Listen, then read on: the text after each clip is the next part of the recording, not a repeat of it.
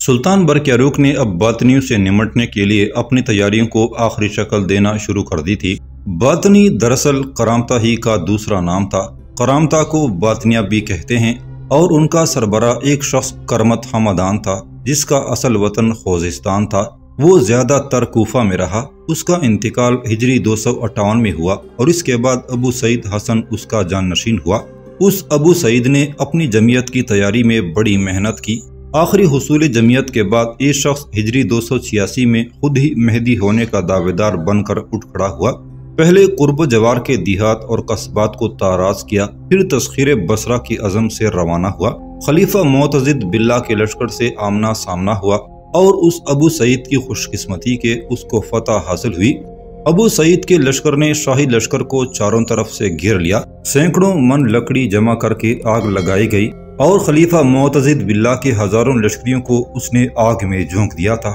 तारीख इब्न खलदून के मुताबिक ये अबू सईद हशर व नशर मआद और हिसाब को नहीं मानता था। ये शख्स इंतहा दर्जे का सफाक था। उसने बेशुमार मुसलमानों को कत्ल करवा दिया था। मस्जिद मुनहदिम की और आजमीन हज के कई काफिलों को लूटा। हिजरी 301 में ये शख्स अपने एक खादम सालवी के हाथों बदतरीन मौत मरा। अबू सईद ने अपने बेटे सईद को अपना जानशीन मुकर किया, लेकिन उसका छोटा बेटा अबू ताहिर अपने बड़े भाई को मगलूब करके खुद जानशीन बन बैठा। अब अपने बाप अबू सईद के कत्ल के बाद और बड़े भाई सईद को मगलूब करके हिजरी 301 में अबू ताहिर बाप का जानशीन हुआ। बाप की तरफ़ से उसे हजर, अहसा, ताइफ और बहरन के इलाकों में अपनी हुकूमत मिली। ये अबू ताहिर इतना बद मिजाज इतना मतकबर, इतना गमंड करने वाला था कि अपने आप को उसने खुदा का अवतार होने का मुदई समझा। वो कहता था कि अल्लाह ताला की रूह मेरे जिसम में हलूल कर गई है नाउज बिल्ला ये शख्स इस्लाम और अहले ईमान के लिए मंगोलों से भी बढ़कर इस्लाम के दर पे आजारो आलाम रहा। उन्हीं दिनों खिलाफत बगदाद काफ़ी कमज़ोर थी, इसलिए अबू ताहर को मुसलमानों के खिलाफ इकदाम करने के बेहतरी के मौाक़े मिले। हिजरी 311 में उसने बसरा पर हमला किया, वहाँ काफ़ी तबाही मचाई। हिजरी 312 में हाजियों के एक काफिले को भी लूटा। हिजरी 314 में कोफा पर लश्कर कशी की और कोफा को फतह कर लिया। हिजरी 316 में अनियार फतह करने के बाद राजबा शहर पर कब्जा कर लिया। इन तमाम वारकों में उसने कसीर तादाद में मुसलमानों को कत्ल किया और हज़ारों को कैद कर लिया, बाद में उन्हें भी कत्ल कर दिया। अबू ताहिर ने शहर हजर को दरल हुकूमत बनाने के बाद वहाँ एक नहायत आलीशान इमारत तामीर करवाई और उस इमारत को उसने दरुल हजरा के नाम से मौसू किया। उसी अबू ताहर पर यह खबत सवार हुआ कि लोग खाना काबा के हज तवाफ को छोड़कर दारुल हजरा का हज करें। उसने इस मकसद के लिए हिजर असवद को खाना काबा से दारुल हजरा पर नस्ब करने की तरकीब सोची। चुनाचे हिजरी 319 में हज के मौके पर ये मक्का मुकरमा पहुँचा। योम तरुबा को अबू ताहिर घोड़े पर सवार होकर तेग बरहान अलिए अपने लश्कर के साथ मस्जिद हराम में दाखिल हुआ। बकौल मौरखीन उस नामर्द और बदतरीन और गलीस शख्स ने मस्जिद हराम में बैठकर शराब पी ली। तवाफ में मसरूफ हाजियों को कत्ल किया और उनका मालो असबाब लूट लिया। मक्का शहर में भी इन करामतियों, यानी बातरियों ने काफ़ी कत्ल गारत की। हरम शरीफ में एक हज़ार सात सौ महरम शहीद हुए।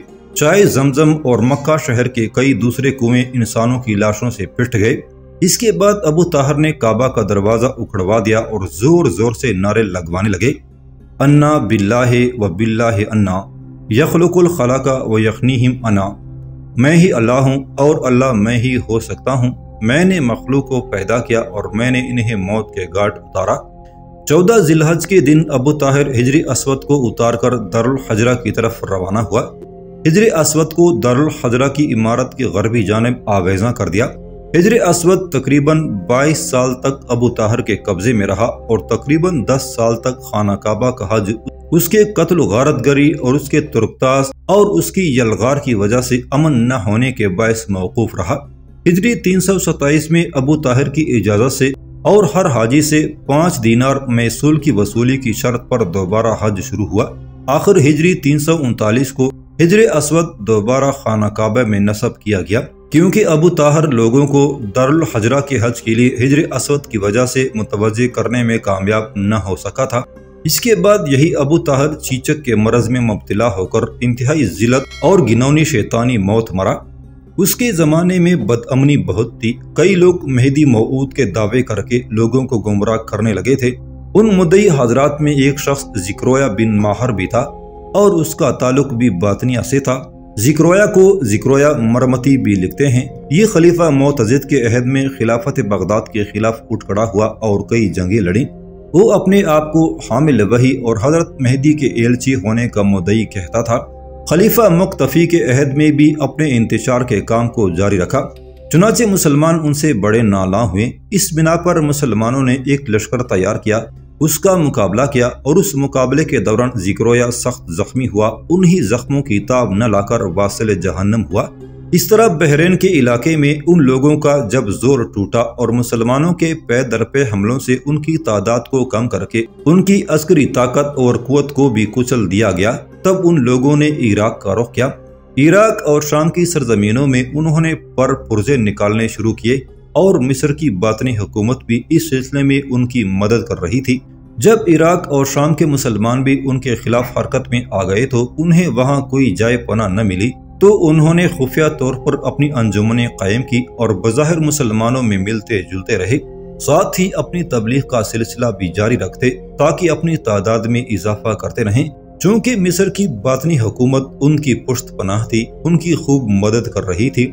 लिहाजा ये किसी न किसी तरीके से शाम इराक में अपने कदम जमाने में कामयाब हो गए। मौरखीन लिखते हैं कि मिस्र की हुकूमत इन बातनियों को, जिनके दाई खुफिया तौर पर काम कर रहे थे, हर किस्म की मदद पहुंचाती थी। और इस्लामी सल्तनत की बर्बादी के लिए मिस्र की बातनी हुकूमत ने इस्लामी ममालिक में बातनियों के दाइयों और रफीकों का एक जाल गैर महसूस तरीके से फैला दिया था। शाम और इराक व ईरान के इलाकों को एक तरह से उन्होंने अपना मरकज बना लिया था। शाम में मिस्र की बातनी हुकूमत का नुमाइंदा हसन बिन सबाह था और इराक में उनका बड़ा नुमाइंदा और दाई आज़म अहमद बिन अताश था। चूँकि इराक सुल्तान बरक्यारू की सल्तनत में वाक़ था और अहमद बिन अताश ने बहुत से इलाकों में मुसलमानों के खिलाफ कत्ल गारत गरी का बाज़ार गर्म किया था। लिहाजा सुल्तान बर बरक्यारूक ने इसी अहमद बिन अताश के खिलाफ हरकत में आने का फैसला कर लिया था। और अहमद बिन अताश पर जरब लगाने के लिए सुल्तान बरक यारूक ने अपने बड़े सालारों का इजलास तलब कर लिया था। कोई ज़्यादा देर न गुजरी थी कि सुल्तान के खेमे में बड़े सालारों में से करबोगा, गुमाज कुमशतगीन सरखाब बिन बदर, सरखाब बिन के खेसरू बारी बारी दाखिल हुए और सुल्तान के खेमे में बैठते चले गए थे। यहाँ तक कि सुल्तान अब अयाज बिन सैफुद्दीन और चक्रमिश का इंतज़ार करने लगा था। जब काफ़ी देर तक वो दोनों न आए तो सुल्तान को कुछ जुस्तजू और हैरत हुई और करबोगा की तरफ़ देखते हुए सुल्तान ने पूछ लिया, करबोगा, ये अयाज और चक्रमिश कहाँ रह गए हैं? इस पर करबोगा गौर से सुल्तान की तरफ़ देखते हुए कहने लगा, सुल्तान मोहतरम, वो हैं तो पड़ाव के अंदर ही, लेकिन समझ नहीं आती, आने में उन्होंने इस कदर ताखिर से काम क्यों लिया है? सुल्तान इस जवाब पर खामोश रहा, फिर इंतज़ार करने लगा यहाँ तक कि थोड़ी देर बाद अयाज बिन सैफुद्दीन और चक्रमिश दोनों सुल्तान के खेमे में दाखिल हुए। जब वो आगे बढ़कर अपनी खाली नशस्तों पर बैठ गए, तब सुल्तान ने अयाज बिन सैफुद्दीन की तरफ़ देखा और धीमे से लहजे में पूछ लिया, अयाज, मेरे भाई, क्या हुआ? तुम और चक्रमिश इतनी देर बाद क्यों आए हो? अयाज ने इस मौका पर बड़ी संजीदगी में सुल्तान की तरफ़ देखा और कहने लगा सुल्तान मोहतरम, एक काम मैंने आज आपकी इजाज़त के बगैर किया है और इस काम में चक्रमिश भी मेरे साथ था। इस बिना पर हम दोनों को आने में ताखिर हुई और मुझे उम्मीद है कि जो कदम मैंने उठाया है, इस पर आप खफी और नाराज़गी का इजहार नहीं करेंगे। सुल्तान ने इस मौका पर गौर से अयाज की तरफ़ देखा, जबकि बाकी सालार भी अयाज बिन सैफुद्दीन की तरफ़ देखने लगे थे। यहाँ तक कि सुल्तान ने पूछ लिया, कैसा कदम उठाया है तुमने? इस पर अयाज बोला और कहने लगा, सुल्तान मोहतरम, हमारे मुखबर जो बातनियों के लिए मुकर किए गए थे कि उनकी नकल हरकत पर निगाह रखें, वो थोड़ी देर पहले आए और उन्होंने इनकशाफ किया कि हसन बिन सबा और इबन अताश दोनों को ये इतला हो चुकी है कि सुल्तान उन पर जरब लगाना चाहते हैं। लिहाजा इबन अताश ने अपने किले शाहदार में अपने इस्तेकाम को मजीद मुस्तकम और मज़बूत और उसवार कर लिया है। वो महसूर रहकर हमारा मुकाबला करेगा। जबकि एक खासा बड़ा लश्कर जो दाइयों, आमिलों और फिदाइयों पर मुश्तमिल है, वो हसन बिन सबाह ने तैयार किया है और उन्होंने ये मनसूबा बंदी की है कि जिस वक्त हम किला शाहदार पर हमला आवर होंगे और इबन अताश को अपने सामने जेर करने की कोशिश करेंगे तो बाहर से हसन बिन सबाह का लश्कर हम पर जरब लगाएगा पहले तो वो हम पर शब खून मारने की कोशिश करेगा, ताकि उस शब खून के नतीजे में हमारी ताकत और कुत में कमी आ जाए, और फिर वो बाहर रहकर वक्फे वक्फे से हमसे टकराता रहेगा। हसन बिन सबाह ऐसा इसलिए करना चाहता है कि किले से बाहर ही हमें मसरूफ रखा जाए, मुहासरे को तूल दिया जाए। यहाँ तक कि हम तंग आकर किला शाहदर का मुहासरा खत्म कर दें और इब्ने अताश महफूज रह जाए। सुल्तान मोहतरम, इन सारी खबरों से ये मामला सामने आता है कि हमारे लश्कर के अंदर भी हसन बिन सबा और इबन अताश के कुछ लोग मौजूद हैं, जो हमारी सारी खबरें उन तक पहुंचाते हैं। चुनाची ये खबरें मिलने के बाद मैं अपने कुछ दस्तों को हरकत में लाया हूँ। अपने पड़ाव के इर्द गिर्द मैंने अपने मुसल्ह जवानों को फैला दिया है, ताकि कोई भी पड़ाव से भागने न पाए। साथ ही कुछ दस्ते मैंने एसपिहा शहर के नवाह में भी फैला दिए हैं। हर दरवाजे पर भी कुछ मुसल्ह जवान खड़े कर दिए गए हैं। हो सकता है इस्फहान के अंदर भी उनके आदमी हों और अगर वो भागने की कोशिश करें तो उन पर बर वक्त जरब लगाई जा सके। इस मजलिस के बाद शहर और पड़ाव के अंदर मशहूर कर दिया जाएगा कि इस्फहान शहर के अलावा सुल्तान के लश्कर में भी इब्ने अताश और हसन बिन सबाह के कुछ लोग हैं, जिनकी निशानदही सुल्तान के मखबरों ने कर दी है। लिहाजा अब उन पर गिरफ्त की जाएगी। इस मजलिस के बाद जब ये खबरें पड़ाव और शहर के अंदर फैलाई जाएँगी तो मेरा अंदाज़ा है, हमारे लश्कर और इस्फहान शहर के अंदर इब्ने अताश और हसन बिन सबाह के जिस कदर आदमी हैं, वो भागने की कोशिश करेंगे और जो जो भागेगा, उसे गिरफ़्तार कर लिया जाएगा और मुकम्मल तफ्तीश के बाद जो भी गुनागार हुआ, उसे काट कर रख दिया जाएगा। यहाँ तक कहने के बाद अयाज बिन सैफुद्दीन खामोश हुआ, तब बेपना खुशी का इजहार करते हुए सुल्तान बरक्यारूक कहने लगा तुम दोनों ने यकीनन ऐसा काम किया है जिसमें मेरी खुशी, मेरी तमानियत है। सुनो, तुमने जो कदम उठाया है, उसमें नाराज़ होने वाली नहीं, बल्कि तुम दोनों को शाबाश, बल्कि इनाम देने वाली बात है। अब उस मौजू पर गुफ्तगु करते हैं, जिसके लिए हम सब यहाँ जमा हुए हैं। इसके बाद जो मनसूबाबंदी तुमने और चक्र मशने की है, उस पर अमल किया जाएगा। इस्फहान शहर के अलावा अपने पड़ाव में भी ये मशहूर कर दिया जाएगा। कि हमारे मखबरों ने यह निशानदही कर दी है कि हमारे लश्कर और शहर के अंदर कौन कौन से इबन अताश और हसन बिन सबाह के आदमी हैं। चुनाचे ये खबरें फैलने के बाद जब किसी ने भी शहर और पड़ाव से भागने की कोशिश की, पकड़ा जाएगा और अपने अंजाम को ज़रूर पहुँच जाएगा। यहाँ तक कहने के बाद सुल्तान बर क्या रुक रुका फिर कहने लगा, अयाज, तुम्हारे इस इनकशाफ पर मैं अपनी इस तजवीज़ और मनसूबाबंदी में कुछ तब्दीली करूँगा, जो इससे पहले मैंने तय की है। पहले मैंने ये इरादा किया था कि कुमाद और सरखाब बिन बदर को इस्फहान शहर के गिरदो नवाह में लश्कर के एक हिस्से के साथ रखा जाएगा, ताकि जब हम हसन बिन सबा और इब्ने अताश के लोगों के खिलाफ हरकत में आए तो कोई हमारी गैर हाजिरी से फ़ायदा उठाकर इस्फहान शहर पर कब्जा करने की कोशिश न करे, जबकि मैं, तुम, करबोगा, चकरमेश और सरखाब बिन के खेसरू लश्कर को लेकर निकलेंगे और इब्ने अताश के किला शहदर का मुहासरा करके उसे हर सूरत में अपने सामने जेर करेंगे। उसके सारे लश्करियों, सारे फिदाइयों, सारे हमनवाओं का खात्मा कर दिया जाएगा। इबन अताश को भी उसके किए की सजा दी जाएगी और किला शाहदर पर कब्जा कर लिया जाएगा। लेकिन अब जबकि हमारे मुख पर ये खबरें लेकर आए हैं कि जब हम किला शाहदर का मुहासरा करेंगे तो बाहर से हसन बिन सबाह का लश्कर हम पर शब खून मारेगा और हमसे टकराता रहेगा, ताकि हम किला शाहदर का मुहासरा उठा लेने पर मजबूर हो जाएँ। इस बिना पर अब मैं इस काम में एक तब्दीली चाहता हूँ। जिस कदर लश्कर हमारे पास है, उसे तीन हिस्सों में तकसीम किया जाएगा। एक हिस्सा कुमुश्तगीन और सरखाब बिन के खेसरू की कमानदारी में रहेगा।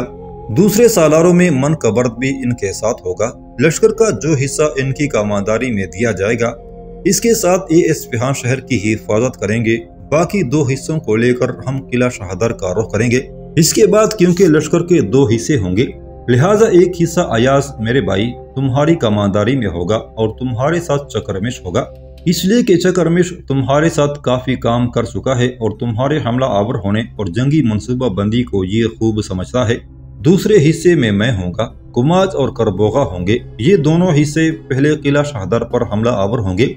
साथ ही अपने मुखबरों को अतराफ में फैला दिया जाएगा। जब भी हमारे मुख पर ये इतला देंगे कि हसन बिन सबाह का कोई लश्कर हम पर जरब लगाने के लिए आ रहा है तो अयाज, तुम और चकरमिश दोनों एक हिस्से के साथ अलहदा हो जाया करोगे और हसन बिन सबाह के लश्कर को रोकने के अलावा उन पर ऐसी जरब लगाओगे, उनके लश्कर की तादाद भी कम करोगे, उनकी ताकत और कुत में जोफ पैदा करेंगे और लगातार उन्हें मार धाड़ का निशाना बनाते हुए उन्हें वापस भागने पर मजबूर कर देंगे। और खुदाउन कुदूस ने चाहा तो जब ये मामला हुआ तो हसन बिन सबाह के क्या फिदाई, क्या दाई सब वापस जाने पर मजबूर हो जाएँगे। जिस रोज ऐसा हुआ, हम सब मिलकर किला शाहदर पर ऐसा ज़ोर डालेंगे कि किले को अपने सामने फतह करने में कामयाब हो जाएँगे और किले में जिस कदर इब्ने अताश के साथी होंगे, उनमें से न किसी को भागने का मौका दिया जाएगा, न किसी को ज़िंदा रखा जाएगा। सुल्तान बरकियारू की इस तजवीज से सारे सालारों ने इतफा किया था। इसके बाद सुल्तान उठ खड़ा हुआ और कहने लगा, मेरे ख्याल में अब सब मेरे साथ आओ, ताकि लश्कर की तकसीम का काम शुरू कर दें। और इसके साथ ही सब अपनी जगहों से उठकर सुल्तान के साथ हो लिए थे। लश्कर की तकसीम का काम जब मुकम्मल हो गया तब इस फिहान शहर और सुल्तान बर क्यारू के लश्कर में ये अफवाहें गर्दश करने लगी थी कि सुल्तान बर क्यारू के कुछ सालार और लश्करियों के दस्ते इस फिहान शहर और पड़ाव के अंदर हरकत में आ चुके हैं। इसलिए कि सुल्तान बर क्यारू को उसके इंतहाई काबिल एतमाद मखबरों और हरकारों ने ये इतला कर दी है कि इस फिहान शहर और पड़ाव में इबन अताश और हसन बिन सबाह के लोग शामिल हैं और सुल्तान को उनके नामों की फहरिस्तें भी जारी कर दी गई हैं। लिहाजा उन्हें गिरफ़्तार करके उनका खात्मा करने की कोशिश की जाएगी। शहर और पड़ाव के अंदर जब ये खबरें बड़ी तेज़ी से गर्दश करने लगी, तब जिस जिसने भी शहर और पड़ाव से निकलकर भागने की कोशिश की, शहर के बाहर और पड़ाव के अतराफ में जो पहले से मुसल्ला जवान कड़े कर दिए गए थे, उन्होंने उनका खात्मा करना शुरू कर दिया था। इस तरह इस्फिहान शहर और सुल्तान बर क्यारू के पड़ाव के अंदर जिस कदर ये जालिम, जाबर और गैर जिम्मेदार लोग थे, उन सब का खात्मा कर दिया गया था। इसके बाद सुल्तान ने अपने पूरे लश्कर के साथ किला शाहदर का रुख किया था, ताहम इस फिहान शहर की हिफाजत के लिए लश्कर का एक हिस्सा शहर के अंदर रखा गया था और उस हिस्से की कमानदारी सुल्तान ने सरखाब बिन के खेसरू के हवाले की थी। किला शाहदर का हाकम इब्न अताश, जो बातनियों का बड़ा नुमाइंदा और एक तरह से इलाकों में दाई कबीर था, वो इस जहम में पड़ गया था कि सुल्तान बर के अरुक और उसके लश्कर की हैसियत हमारे मुकाबले में कुछ भी नहीं है। ऐसा वो इस बिना पर भी कर रहा था कि उसके पास अपना बहुत बड़ा लश्कर था, जिसकी बड़ी खूब तरबियत की गई थी। इसके अलावा हसन बिन सबाह की तरफ़ से भी एक खासा बड़ा लश्कर किला शहदर के नवाह में आकर कहीं गात लगा चुका था और उसकी इतला हसन बिन सबाह के नुमाइंदों ने इबन अताश को कर दी थी। इस बिना पर इब्ने अताश ने यह फैसला किया कि वो शहर से बाहर निकलकर सुल्तान बर क्यारू के लश्कर का मुकाबला करेगा। और हसन बिन सबाह का वो सालार जो लश्कर लेकर आया था, उसकी तरफ़ पैगाम भिजवा दिया कि जिस वक्त सुल्तान उससे टकराए तो अपनी गाद से निकलकर सुल्तान के लश्कर की पुश्त पर ऐसे जोरदार हमले शुरू करे कि हमारे सामने से सुल्तान को भागने के सिवा कोई रास्ता न मिले। सुल्तान को भी मखबरों ने बता दिया था कि हसन बिन सबाह का एक लश्कर किला शाहदार के नवाह में आकर गात लगा चुका है। और ये तक इंकशाफ कर दिया था कि हसन बिन सबाह का लश्कर किस सिमत से नमोदार होकर सुल्तान के लश्कर की पुश्त या पहलू पर हमला आवर होगा। इस बिना पर ये सारी खबरें जानने के बाद सुल्तान बर के क्यारूक अपनी जगह पर बड़ा मुतमिन और आसूदा था। सुल्तान आगे बढ़ा। जब वो किला शाहदर के करीब गया तो रुक गया, इसलिए कि उनके सामने बातरियों का दाई कबीर एक बहुत बड़े लश्कर के साथ अपने लश्कर की साफे उस्तवार कर चुका था। ये सूरत हाल देखते हुए सुल्तान और उसके सालारों ने भी अपनी सफ़े इबन अताश के सामने आकर बिल्कुल दुरुस्त कर ली थी। शायद इबन अताश ने अपना इरादा बदल कर अब शहर से बाहर निकल कर सुल्तान से टकराने का फैसला किया था। वहाँ पहुंचकर सुल्तान ने अपने लश्कर में कुछ तब्दीलियाँ की। लश्कर का एक हिस्सा पहले ही अयाज बिन सैफुद्दीन के लिए मुख्त किया गया था और चकर को उसके साथ रखा गया था। और उनके जिम्मे ये काम लगाया गया था कि पहले तो वो सुल्तान के साथ जंग में हिस्सा लेंगे, और जब हसन बिन सबाह का लश्कर अपनी गाज से निकलकर करीब आएगा तो वो अलहदा होकर हसन बिन सबाह के लश्कर से टकरा जाएँगे। बाकी लश्कर भी दो हिस्सों में तकसीम कर दिया गया था। एक हिस्सा सुल्तान ने अपनी कमानदारी में रखा और कुमुश तगीन को अपने नायब की हैसियत से शामिल किया। तीसरे हिस्से की कमानदारी अमीर करबोगा को दी गई थी, जबकि कुमास को, जो बड़े सालारों में से था, जंग का बेहतरीन तजर्बा रखता था, उसे करबोगा के साथ उसके नायब की हैसियत से रखा गया था। इब्ने अताश को बड़ा हौसला और जैम था कि हसन बिन सबाह का लश्कर चूँकि उसकी मदद के लिए पहुँचा हुआ है और वो गात लगा चुका है, और बर वक्त सुल्तान बर क्यारू की पुश्त की तरफ़ से हमला आवर होकर उसकी कामयाबी और सुल्तान बर क्यारू के मुहासरे को उठा लेने को यकीनी बनाएगा। इस बिना पर वो बड़े तकबर और गमन में हरकत में आया और सुल्तान के लश्कर पर हमला आवर होने में पहल करने का इरादा कर लिया और अपने इसी जैम में अपनी लश्कर को वो हरकत में लाया और फिर वो सुल्तान के लश्कर पर अटूट पड़ा था। सुल्तान का लश्कर क्योंकि तीन हिस्सों में तकसीम हो चुका था, वस्त में सुल्तान खुद था, चुनाचे पहले सुल्तान हरकत में आया और वो भी उन पर हमला आवर हो गया था। सुल्तान बर क्यारू के साथ ही साथ अपने हिस्से के लश्कर के साथ करबोगा भी हरकत में आया और वो भी इब्न अताश के लश्कर पर हमला आवर हो गया था। इसके बाद तीसरा हिस्सा हरकत में आया, जिसकी का मानदारी अयाज बिन सैफुद्दीन कर रहा था। अयाज सुल्तान ही की अंदाज में इब्न अताश के लश्कर पर हमला आवर हो गया था। कोई ज़्यादा देर न गुजरी थी। एक तरफ़ से एकदम हसन बिन सबाह का लश्कर नामोदार हुआ, ताकि सुल्तान के लश्कर की पुश्त की तरफ़ से हमला आवर होकर अपने लिए कामयाबी के दर खोले। उसी लम्हा अयाज बिन सैफुद्दीन और चक्रमिश अपने हिस्से के लश्कर के साथ सुल्तान के लश्कर से अलहदा होकर पीछे पलटे। आगे बढ़कर अयाज बिन सैफुद्दीन ने अपनी लश्कर के साथ हसन बिन सबाह के लश्कर को रोका और उन पर हमला आवर हो गया था।